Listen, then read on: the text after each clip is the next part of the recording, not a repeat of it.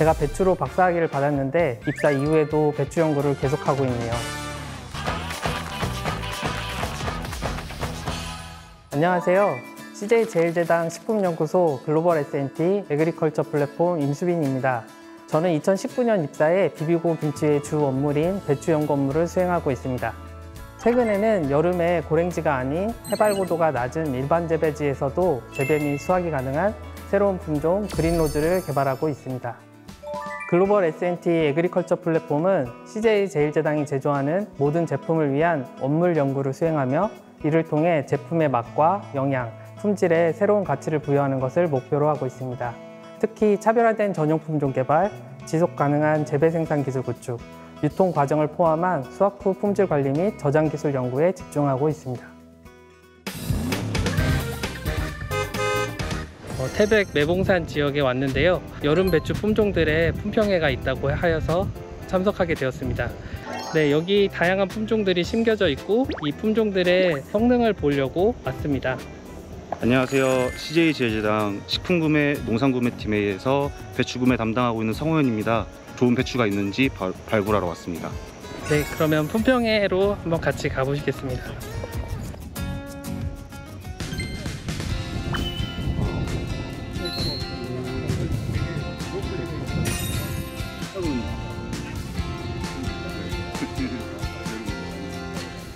네, 여기는 그래도 시원한 고랭지인데 고온의 영향과 그리고 올해 특히 비가 오지 않아서 전혀 자라지 못하 있는 상태입니다. 배추는 김치의 핵심 재료라서 연중 안정적인 공급이 필요합니다. 그런데 배추는 원래 가을철처럼 서늘한 기후에서 잘 자라다 보니 여름철에는 고랭지 배추에 의존하거나 봄 배추를 저장해 사용하는 경우가 많은데요. 문제는 9월쯤 되면 저장 배추 품질이 떨어지고 고랭지 배추 가격은 크게 오르면서 수급 불안이 심해진다는 점이었어요. 게다가 기후변화로 재배량까지 줄어들면서 가격 변동이 더 심해질 것으로 예상됐습니다. 그래서 여름철에도 일반 재배지에서 안정적으로 키울 수 있는 새로운 품종 개발을 직접 시도하게 됐습니다. 저희 배추 심어 있는 정선으로 이동했습니다. 지역마다 재배되는 특성이 다르기 때문에 정선에서도 잘 자라는지 확인하기 위해서 올해 5,000평 규모로 시험 재배를 하고 있습니다. 이 배추가 저희가 개발한 그린로즈 품종입니다.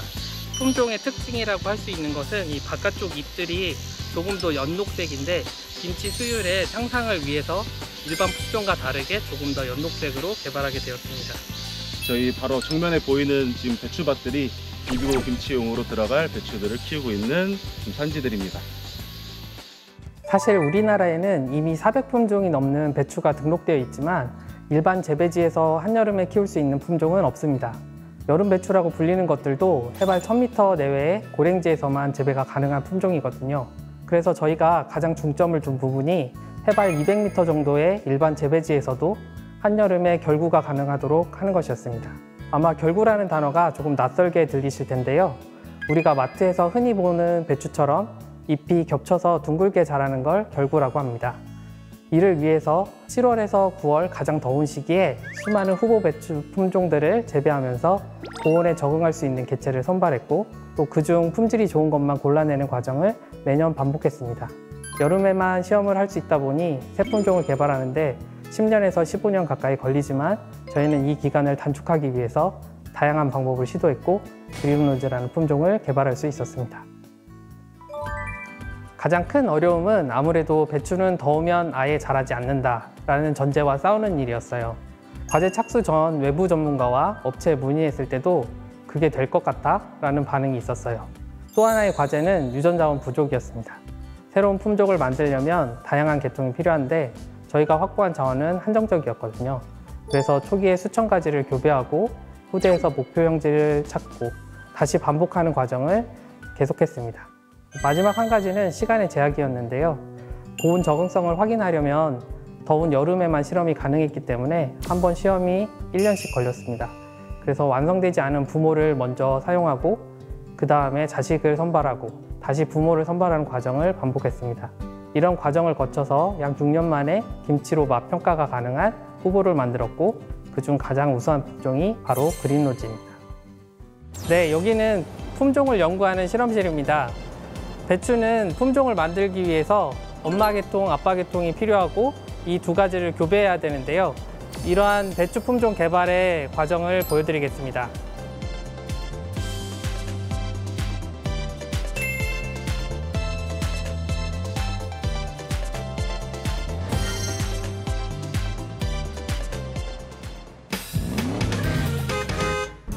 지금은 괴산에 있는 저희 그린로즈 재배지로 생육 환경을 조사하기 위해서 가고 있습니다.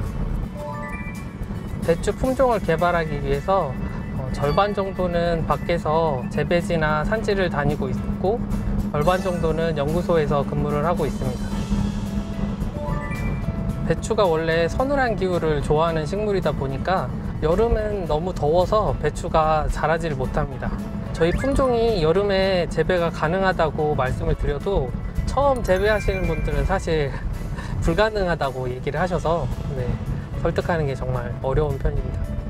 그래도 저희 품종 그린로즈가 재배가 잘 되고 있어서 매년 매년 키워 나가서 올해는 천평까지 확대를 해서 재배를 하고 있습니다. 네, 여기는 저희 그린로즈를 재배하고 있는 괴산의 재배지입니다. 날씨가 엄청 더워서 땀이 뚝뚝 떨어지는 상황인데 잘 자라고 있습니다. 네, 저희가 배추 생육 조사를 할 때 하나하나씩 또 보고 있지만 밭 전체에서 어느 정도 잘 자라는지 균일하게 자라는지를 확인하기 위해서 드론을 이용해서 영상으로 확인하고 있습니다. 네, 사장님 저 왔습니다. 안녕하세요. 네. 저희가 갑자기 이렇게 와가지고 여름에 배추 해달라고 말씀을 드려가지고 그때는 이제 그 실험을 해달라 그러니까는 그냥 뭐 그냥 저 성의껏 해드린다고 이제 시작을 했던 겁니다.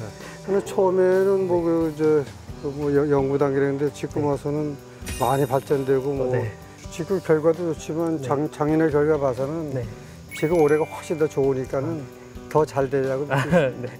그러면 지난 몇 년간 저희가 부탁드려서 계약 재배로 해주셨는데 더 많은 면적을 재배하실 의향이 있으신가요? 예 예 하, 하, 뭐 하지요 뭐 돈도 되고 또 계약 잡이가 저 씨만 있으면 시중에 나가도 뭐 그 면적당 뭐그 가격이 보장되니까는 하사 작품 뭐 그- 그런 거는 네. 아예 수확을 못했잖아요 네, 작년에 네. 근데 이거는 뭐 거의 한 8, 90% 했고 네네. 저 정도 지금 잘 자라고 있는 게 드물어요 지금은 그리고 이제 이 시기에 저 정도 배출하면 네. 지금 잘 되고 있는 거예요 아주 여름철 장마 시기랑 겹치다 보니 현장에 어려움이 많았어요. 밭에 들어가면 갯벌처럼 발이 빠지는 일도 있었고 배추 모종을 심기 전에 밭에 비닐을 덮어야 하는데 비가 계속 와서 농민들이 바로 전날 겨우 마무리하신 적도 있었습니다. 네, 지금 그린로즈가 재배되고 있는 시험 재배지에 왔습니다. 오늘은 대망의 수확일로서 저희 팀과 함께 배추를 수확하러 왔습니다. 예, 올해 심어 보니까는 수확량이 좋아서 내년에도 면적을 넓혀서 더 심고 싶습니다. 아, 마- 많이 물어봤어요. 예, 품종이 뭐냐 그래서 아직 씨를 제가 제가 이름 기억을 못 해가지고 그냥 뭐 새로 나온 품종이다. 그- 그렇게만 얘기했습니다. 이름은 그린로즈입니다. 아, 그 그린로즈 예, 예. 네, 날씨가 덥고 가뭄이 심해서 걱정했었는데 그래도 잘 자라줘서 다행이네요.